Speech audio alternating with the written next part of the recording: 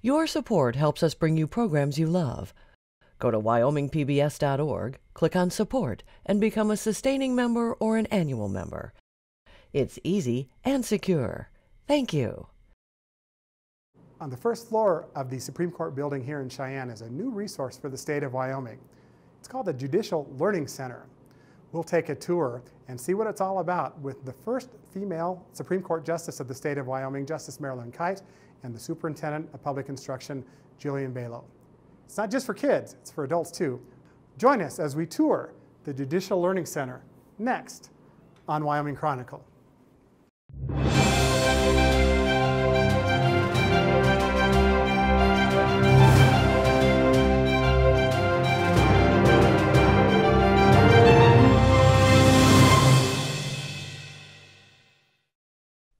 Funding for this program was provided in part by the Wyoming Public Television Endowment and viewers like you.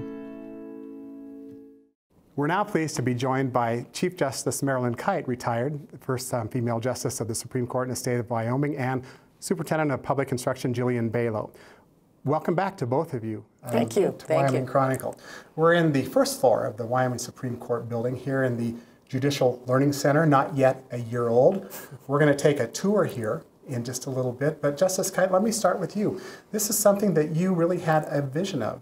And I want to ask you why you felt a, a um, display, uh, an area like this would be so important for Wyoming. Well, I think the court system in Wyoming and probably other states has always been interested in civics education and trying to explain to the, to the children and adults how the judicial process works. And it always seems very dry, and it's hard to bring it to life. I watched uh, uh, Justice Sandra Day O'Connor on the U.S. Supreme Court talk about her iCivics program, which was an interactive computer game way of teaching civics. And she said she used to watch her grandkids uh, play games, and she knew they weren't going to be reading the books like she had read them. And so that kind of uh, planted a seed, I guess.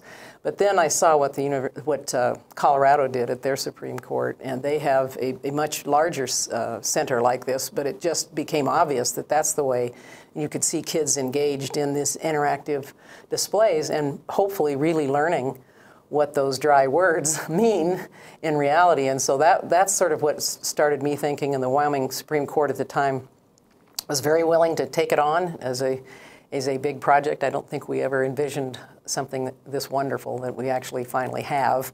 But it sort of came about as a result of that. And we have our neighbors to the south to thank a little bit for the inspiration and uh, in our court system for being willing to, to undertake it. But real quickly, many states don't have a, a, place like this. Wyoming's one of the few. Oh, I think, yeah, I think most states don't. I know of a, a handful of other states' uh, courts who have something similar. In fact, the fun thing is they're now calling us about how did you make this project happen? And we are making available to them the content, which is hard to develop. Colorado was very generous with us, loaning us uh, a lot of the content so we didn't have to start from scratch. Superintendent Balow, I want to turn to you for just a moment. Obviously, many children are introduced to civics, to, to the judicial branch of government in Wyoming schools.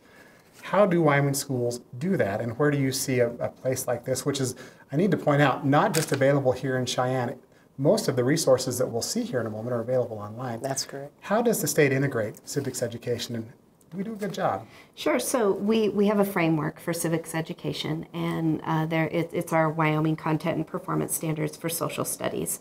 And one of the main standards is civics education. So starting in kindergarten, um, students start learning about citizenship, learning about personal responsibility, community responsibility, rules, responsibilities within a community, and um, and and it really progresses from there. So by the time that students graduate from high school in 12th grade grade, um, they're, they're analyzing political systems. They're um, mapping what's happened in our history to what's currently happening in our society and still talking about responsibilities and rules and federalism and governance.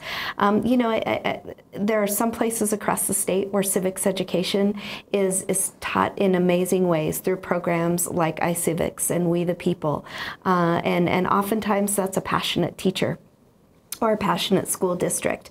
Um, certainly, we'd like to see that passion shared across the state, and I think that the Judicial Learning Center really sets the the um, the framework for that to happen uh, in in many ways. Now, you both um, had an opportunity to, to, observe the legislature in the last session, who considered a bill relative to civics education, and it didn't go the way you had hoped.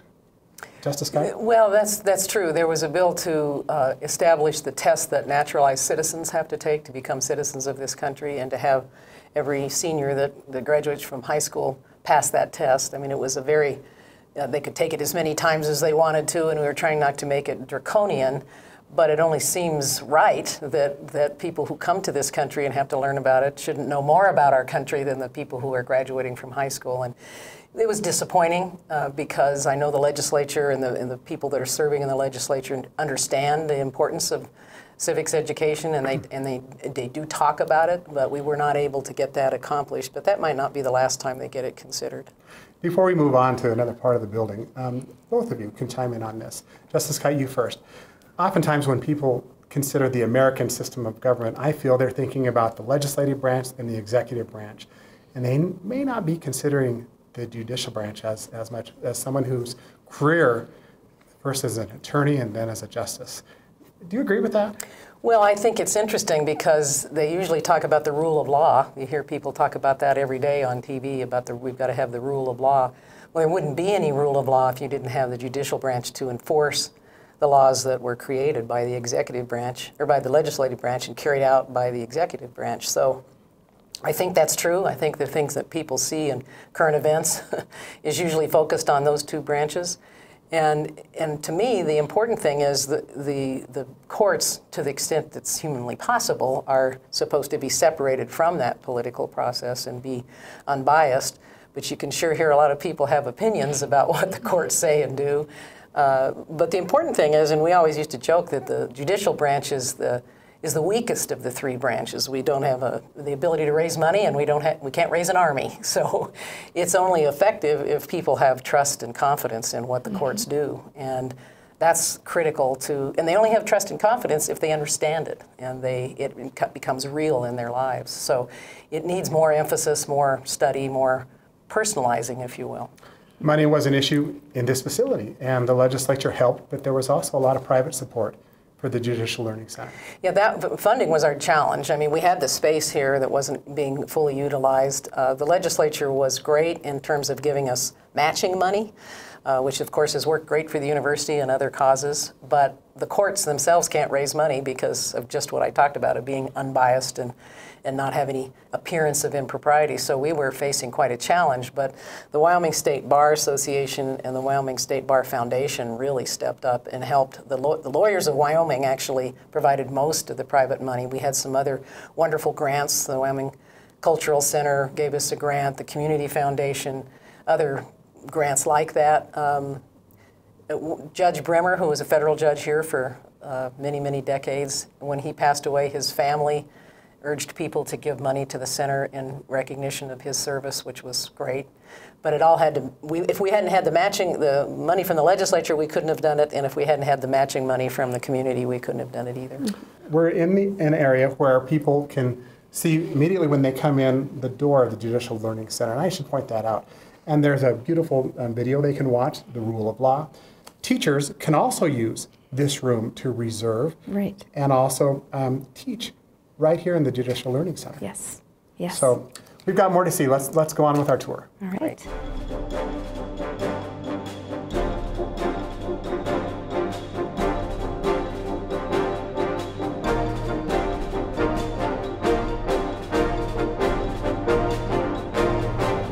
is an 1,100 square foot facility at the Judicial Learning Center. And Justice Kite, um, there are many interactive displays, but you've told me this is your favorite, so let's start right here.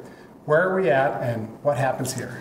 Well, we are at the You Be the Judge exhibit, um, and the reason it's my favorite, although there's wonderful uh, content in the other exhibits here, is it really puts the person that's playing the game in the position of being a judge. And when I was a judge, it was always frustrating to hear people talk or criticize things the courts did without having the evidence and without knowing what the law required. Uh, they were quick to have their own opinion. Well, here you, you learn how difficult some of these decisions are, and my you get to choose three different scenarios: a criminal case, a custody case, and a civil case. And my favorite to watch the young people and everybody uh, try to play is the custody case because they're close, tough cases. There's good parent, both people are good parents, but you've got to decide which parent gets custody. And the district judges in our uh, state do that every day. Uh, gut wrenching decisions that they have to make. And you can see people struggling with what's the right answer. And when they finish the game, they can see where they compare with anybody else who has played the game. So you kind of get a feel for where your reactions fall kind of in the in the general population. So our goal here was to make people really understand the judicial system, and in my view, this this exhibit that makes them be the judge goes the farthest in that direction. Superintendent Balow, what strikes me about about this um, kiosk, if you will, is this wouldn't have existed when I was in school, and how education's a little different today, and, and kids learn in different ways, and I think this is a stunning example of that. Absolutely. Um, you know, Justice Kite calls it a game, but it's exactly how we we want kids to learn um, through experience and, and through problem solving and analytical thinking. Um, it's also aligned with the, the standards that I referenced earlier. And so it's, it's a really wonderful way for, for students to learn, but then they can also take what they learned today and go back to their classrooms and continue that type of thinking as, um, as they move through the, their own curriculum back in the classroom. And is this the way education is bending towards a more digital, interactive type of experience for those of us that aren't in the classroom all the time? Yeah, in many ways it is. Uh, the Judicial Learning Center certainly sets the gold standard, uh, not only in terms of what we want kids to experience um, around federalism and the three branches of government, but also just in terms of having these opportunities to visit the Supreme Court and to um, to experience some of these um, some of these learning activities. And one of the great things that's happening right now is that uh, the Judicial Learning Center procured a grant to have a, a, contest for lesson plans. Written so, by teachers? Yes, written by teachers. So teachers across the state um, right now are thinking about how they can write lesson plans to either use in the, the Judicial Learning Center or as a follow-up or precursor to the Learning Center visit. And, um, and it's, it's a really wonderful way, again, to continue the learning in a, in a real way. And we have information about this on, on our program here. There's a web, website they can reference there's a prize out there. There is. There's some money available for teachers if they want to participate, and they've got some time to, to still do that. For teachers and for their schools. Nice. Justice Kite, you talked about something, and I'm sure you, you've been involved in hundreds, maybe even thousands of cases. Can you recall for us a couple for you? You've referenced in the past that the school um, funding decisions were tough for you um, when you were on the Supreme Court. Are there decisions where you know, if you'd play this game, you'd be the judge that you might see a 50-50 split in, in how the general public might have thought it would come out or that were especially gut-wrenching for you? Well, I, th- I, think there's, uh, they all were gut wrenching, frankly. Um, but uh, a couple that I remember that were particularly hard is when you felt there had been a legal mistake, which is our job to find out if there is a legal mistake and you got to decide whether you're going to reverse it and make that family go back through this process, which is a terrible thing to do.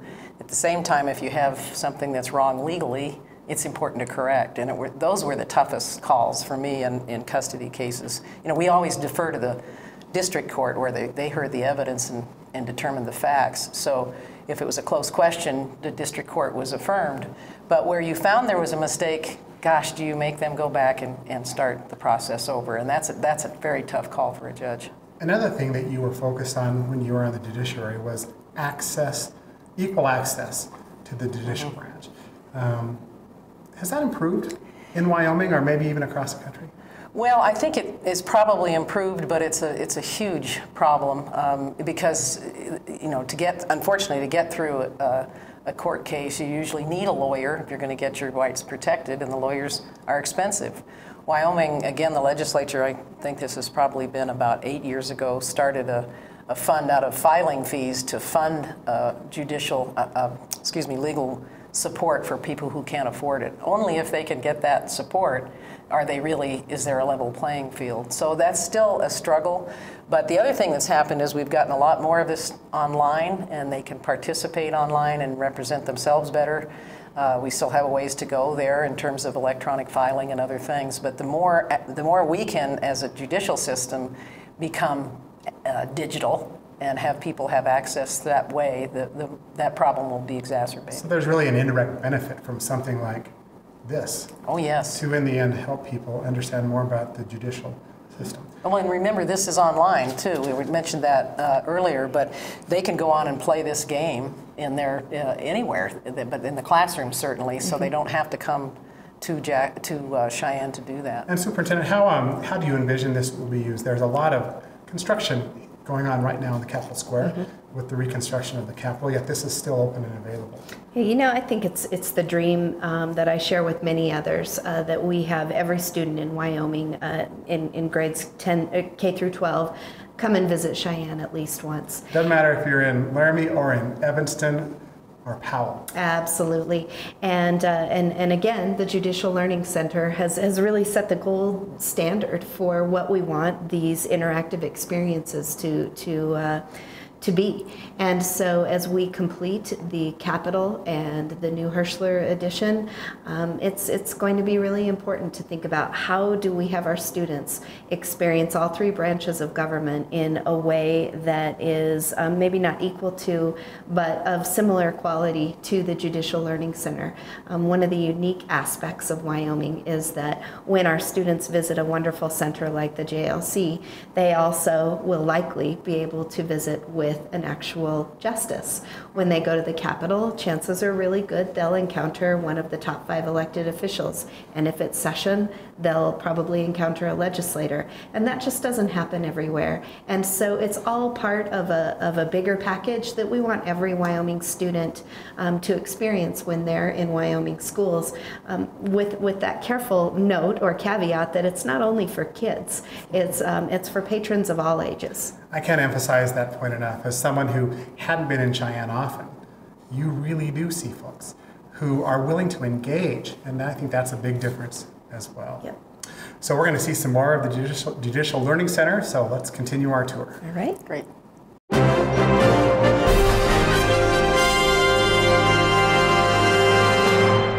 One of the great, I think, experiences of the Judicial Learning Center is a timeline that takes the judiciary in Wyoming from territorial days to the present. What strikes you, um, Justice Kite? Begin with you when you see this beautiful timeline. Well, I, I think the, one thing that strikes you is there's a tremendous amount of information here, and uh, this learning center is not just for kids; it's also for adults. I mean, true, we're seeing water issues, land issues, education issues. history issues, equal rights, women in the law, uh, Native American law, and, and how it interacts. So there's a it's it's a tremendous source of information about how where we where we started and, and where we and where we are today. Uh, it was also I want to put a plug in for the Supreme Court. Uh, the people in the Supreme Court building, the law clerks and, and the judges wrote most of this, and it was really a big undertaking, and of course, trying to do their other jobs at the same time. So I'm very proud of this. It really gives you a full flavor of the history of the court system in Wyoming. So many issues. We, we certainly can't cover them all. We encourage people to come and look, but we're standing in front of the Native American display for a reason, Superintendent Balow. Yeah, you know, first of all, every time I'm in here, I learn something new, and it's it's so um, amazing to see the timeline of our state told through the lens of the judicial system.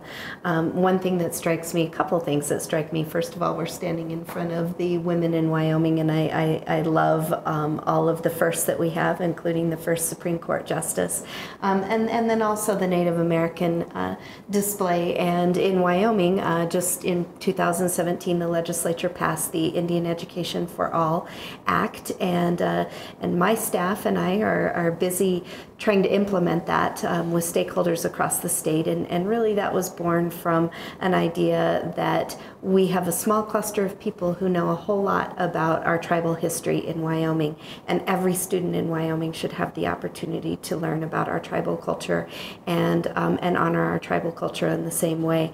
And so, as I look at this particular part of um, of the timeline, um, I'm struck by the fact that some of what we hope every Wyoming student learns in their classroom is also depicted up on the wall, and uh, so they'll have one more exposure to it when they visit the JLC. There is some intersection with tribal courts and Wyoming courts, Justice Kite. Yes, there, the, the tribal court itself handles lots of, of the legal issues on the reservation, and there's, it, of course, is a, always a question of jurisdiction. Does the state court have jurisdiction or does the tribal court? But the tribal court takes a huge load off of the state uh, civil and criminal justice system by the, the cases that they handle. And then, of course, you have the federal courts that come into it, so there are certain cases that have only uh, jurisdiction in the federal courts. So it's a real interesting legal issue when you consider uh, Native Americans and the, and the reservation itself. So it kind of helps teach a little of the Wyoming. In fact, it's the case all the way along this timeline. You're learning Wyoming history kind of at the same time as you're learning legal history in Wyoming. And the Native American exhibit, if you will, is, is a prime example of that. You both are women that um, have a relationship to first. We've talked before, you're the first woman justice of the Supreme Court. But many people may not know that one of the first, the first superintendent of public instruction in Wyoming was she was a female. She was also the first statewide elected official that was female. Um, Estelle Reel was her name. And um, she was, uh, speaking of, of tribal history, she was also appointed to oversee tribal education and was the first Senate, um, Senate appointed uh, leader uh, that was female. Justice Kite, why did it take us, and, and we'll get back to the Judicial Learning Center in just a moment. Wyoming was one of the last states that had a female Supreme Court justice. Why, why was that? Well, it's a combination of factors and usually comes down to numbers. I mean, when I first went to law school, there were only seven women in the law school and only about five women lawyers in the state.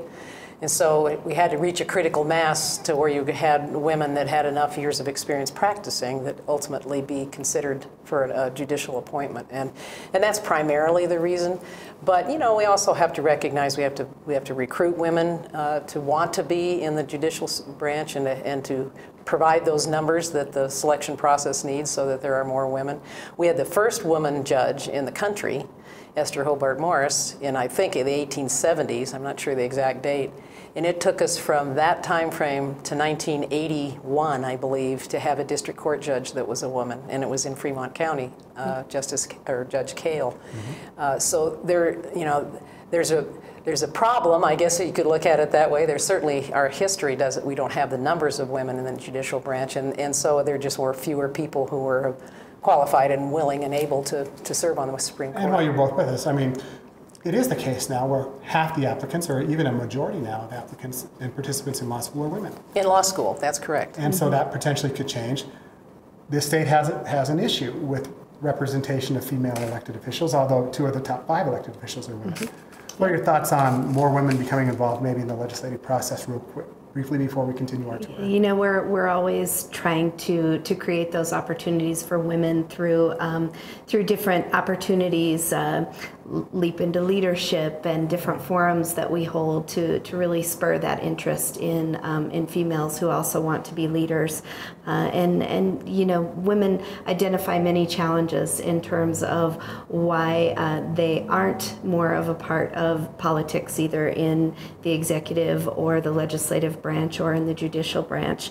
Um, but, but we hope to, to help overcome some of those hurdles and certainly see more women in those position, positions because we have a lot of really wonderful female leaders in our state. And there still is now a female judge Justice on That's right, Justice, Justice Fox. Justice Fox uh, was appointed a year at, before I retired, and I always regret not being able to serve a longer time with her. And, you know, I think uh, you often hear women saying how important it is to have women in offices. And um, I think the, the issue that is lost is that half the population are women, and so you're losing half of the talent that's out there. It's the talent pool that you're trying to get the best and the brightest people to serve. And if you eliminate half your talent pool right away, you aren't arguably getting the best and the brightest or don't have that opportunity.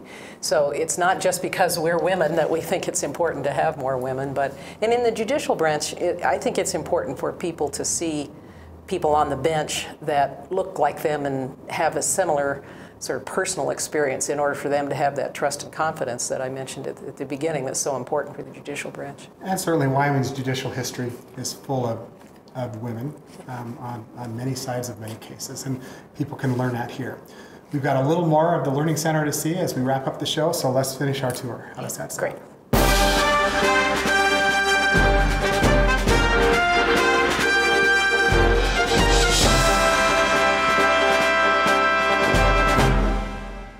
We're in the last corner that we're going to talk about today here at the Judicial Learning Center, and I think it's, a, it's an appropriate place to end, um, Superintendent, not only for you, but also for Justice Kite. Talks about this, this particular corner talks about education in Wyoming and how the judiciary has been intimately involved in education in Wyoming. Well, that's true, and I think primarily because Wyoming is one of the few states where education is a constitutional right and a, a, fundamental constitutional right. The Constitution requires that the legislature provide a complete and uniform system in the state, and uh, as a result of it being a constitutional question, that has has pulled the courts in to the decisions probably for the last 50 years. It's uh, it's been uh, considered by the courts. And Superintendent, I mean, um, and we're not immune from really having some of these conversations again, maybe, but certainly it impacts you nearly every day. Absolutely. Whenever we're talking about school finance, and especially um, in light of the disconnect between revenue and um, the the cost of education, um, there's there's not a day that goes by where we don't reference at least one or more of the decisions that were that, that were made by the Wyoming Supreme Court um, around education, and um, and and certainly it. Every single case has prompted something different to be done in education. But where we are today is that as a result of the Supreme Court decisions, uh, the legislature wrestles with making sure that every student in Wyoming has an equitable and adequate education. And, um, and that really goes back to that constitutional, um, that constitutional right to a complete and uniform education. But regardless of your politics, here is a place where you can understand how the rule of law is interpreted. And you really encourage, not, uh, like we've said before, not just children, but, but adults to come and spend time here as well. Yeah, And I would really uh, encourage adults who do come to set aside an hour, uh, maybe more if you can afford it, because there's so much to learn here. And it's in various degrees of complexity. I mean, a fifth grader can come through and understand a portion of it, but it's, there's a lot here for adults. And we love it when we see, especially in the summertime, we see a lot of adults coming in and, and learning about their system of justice. It's open every day of the week. Um, yep. Superintendent Balow will give you the last word about this as a resource for Wyoming's education yeah. um, relative to civics? You know, once the Capitol renovation is is done, I hope that every student in Wyoming has the opportunity to come down and experience in, in a way similar to the just to the Judicial Learning Center, um, the judicial system and the judicial branch, the executive branch, the legislative branch, and also our wonderful museum that has so many um, great artifacts and, and history about Wyoming. And and um, and we hope that that's a gift that uh, that all of us can share with each other through the years. Just to reinforce the location, we're in the Supreme Court building, which is across from the Department of Education offices, not more than a block away from Wyoming's Capitol. That's correct. Justice Kite, it's been a pleasure. Thank you so much for joining us on Wyoming Chronicle. Thank you, and Superintendent Balow, again, pleasure always to visit with you. Thank you, Craig.